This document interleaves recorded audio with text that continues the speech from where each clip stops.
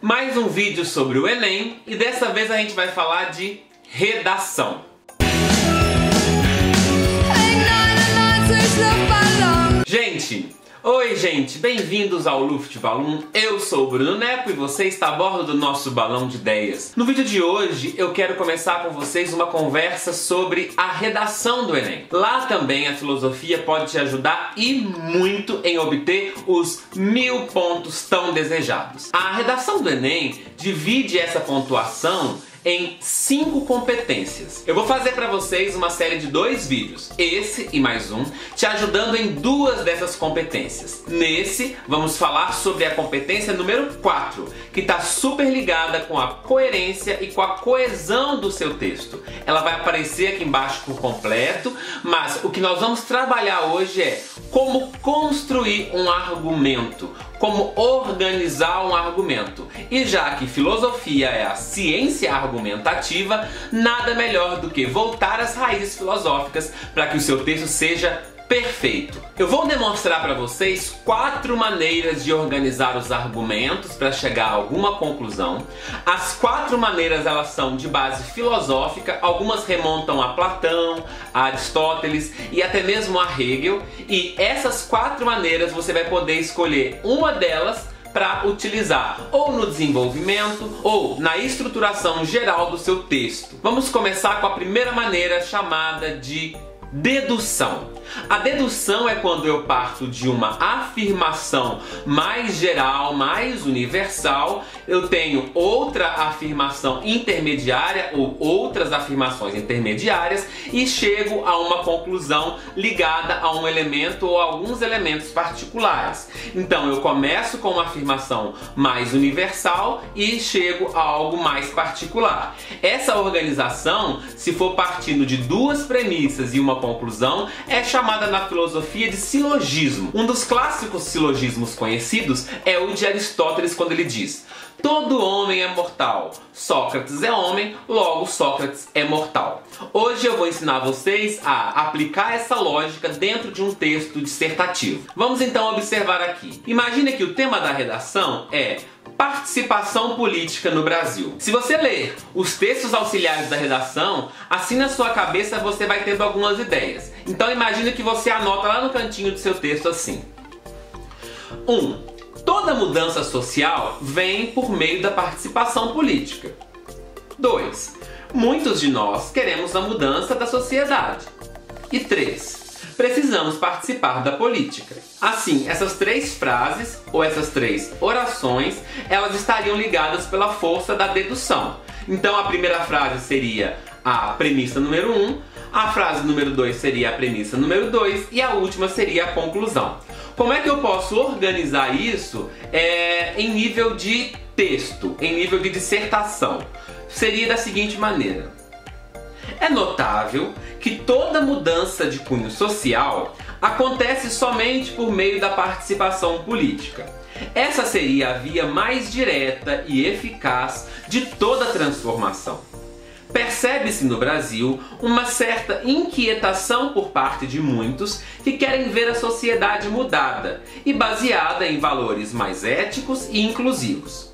Por isso, faz-se necessária a participação politicamente ativa de todo aquele que quer ver tal mudança. Não se pode acreditar, por exemplo, que o cenário será novo a partir da indiferença. Perceberam? Aqui eu transformei um argumento dedutivo num parágrafo, no miolo da minha redação. Então eu poderia estar usando esse silogismo inicial e transformá-lo numa coisa mais dissertativa, mais esmiuçada, mais clara para o leitor. Vamos para o segundo método da escrita, que seria nesse caso então, ou o caminho contrário da dedução, que nesse caso é a indução. Aqui nós vamos partir de casos individuais, de é, elementos particularizados e vamos chegar a uma conclusão mais universalizada. Então nós analisamos cada um desses casos, colocamos um lado a lado do outro e tiramos uma coisa nova, uma conclusão nova que abrangeria um número maior de situações. Vamos ao exemplo.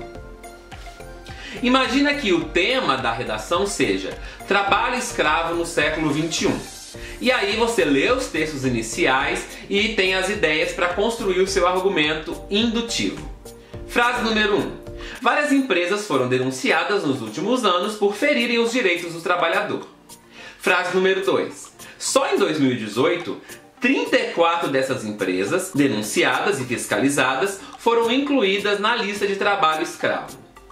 Frase número 3 o trabalho escravo ainda está arraigado nas relações de trabalho no Brasil. Então aqui nós temos entre as três frases uma ligação de indução. Partimos de casos particulares e concluímos uma coisa mais generalizada. Vamos agora construir então o nosso texto dissertativo ou parte dele a partir dessa ideia. Desde 2011, o Ministério do Trabalho investiga várias denúncias de empresas que, supostamente, ferem os direitos dos trabalhadores há um crescimento notável dessas acusações, inclusive com registros fotográficos, vídeos e até depoimentos. Só no ano de 2018, 34 dessas denúncias se comprovaram, fazendo com que o Ministério incluísse essas empresas na chamada lista suja do trabalho escravo. Portanto, evidencia-se que o Brasil ainda sofre, em pleno século XXI, desse mal que muitos acreditavam ter sido superado há muito. Então aqui nós vimos a aplicação do método indutivo. Vamos para o terceiro método, que seria o método da analogia. O que, seria analogia? É quando eu comparo duas ou mais realidades e, baseada na primeira, eu chego a alguma conclusão para a segunda realidade comparada. Vamos ao exemplo. Imagine que o tema da redação seja direitos e inclusão da população LGBT. Aí você lê os textos iniciais e você tem as seguintes ideias para construir o seu argumento analógico. Vamos lá. Animais têm práticas homoafetivas. Os seres humanos também têm práticas homoafetivas. Os outros animais não são excluídos ou deslocados de sua função original por agirem de forma homoafetiva. Dessa maneira, os seres humanos também deveriam não ser excluídos nem deslocados de suas funções. Assim, então, vamos transformar a nossa ideia da analogia agora no texto. Mesmo no reino animal, outras espécies, além do ser humano, apresentam comportamento e práticas homoafetivas, como albatrozes, golfinhos e leões. Nessas e em outras espécies, esses animais não são excluídos da comunidade e nem deslocados de suas funções simplesmente por serem diferentes da maioria. Era, pois, de se esperar que em nós seres racionais e bem mais organizados socialmente que as citadas espécies, não fosse uma questão nem um tabu à inclusão e a garantia de direitos para indivíduos com comportamentos análogos. Perceberam? Aqui a gente usou uma estrutura da analogia para construir então um miolo ali da nossa redação sobre os direitos e a inclusão da população LGBT. Vamos agora para a última maneira de argumentar ou método argumentativo que é o método dialético. Esse método ele propõe o seguinte: primeiro você apresenta uma tese que seria uma ideia, uma afirmação inicial. Depois você apresenta uma antítese, ou uma antitese, ou uma contratese, alguma coisa que vai contrário a essa primeira afirmação. E por último, você apresenta a síntese, uma conclusão a partir dessas duas ideias iniciais. Essa conclusão pode ser conciliadora, ou seja, você concilia as duas teses e melhora o argumento das duas para chegar a uma síntese, ou ela pode ser reafirmadora. Ela pode voltar a uma dessas duas teses e reafirmar e melhorar o argumento dessa tese que já havia sido dita antes. Vamos para o exemplo. Imagine que o tema da redação seja família no século 21 e você tem as seguintes teses contrárias. Primeiro, Conservadores e religiosos fundamentalistas defendem a família nuclear como a única possível. Por outro lado, psicólogos e sociólogos dizem que existem outros tipos de família.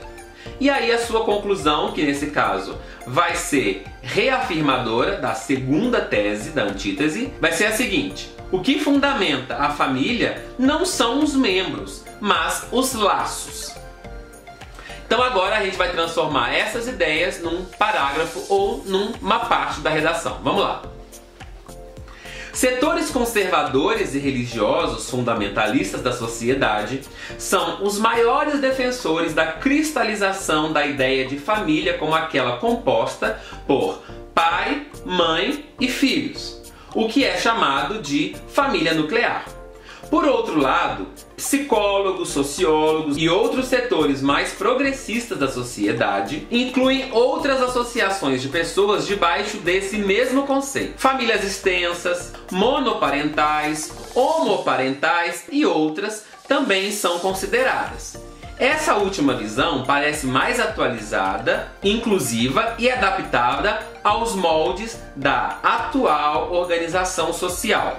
Além disso, a conceituação está mais baseada nos sentimentos e afetos vivenciados entre as pessoas e não simplesmente em seus componentes individuais. O amor passa a ser fundamental no lugar do sangue. Portanto, a organização das ideias partiu então dali de uma é, oposição inicial e aí se construiu uma síntese. Essas são as quatro maneiras de argumentar, os métodos argumentativos que, baseados na filosofia, podem te ajudar a tirar nota mil na redação, ou pelo menos os 200 pontos da competência 4.